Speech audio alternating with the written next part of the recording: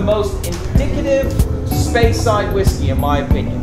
The 15 year old is honeycomb in a glass. I mean, it really, it, this is Christmas in a glass right here.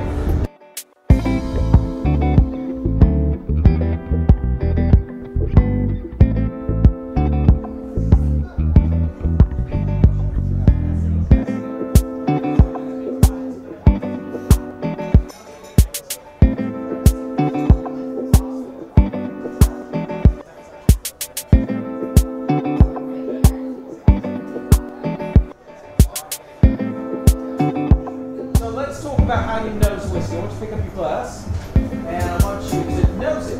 And when you nose it, I want you to keep your mouth open so that those vapors run across the taste buds. What, any, anyone picking up any particular notes? Marmalade, honey, it's just absolutely delicious.